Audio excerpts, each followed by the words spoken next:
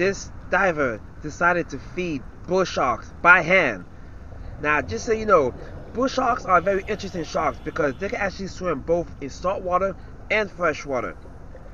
But the thing about bull sharks is that they have a very bad attitude. That's right.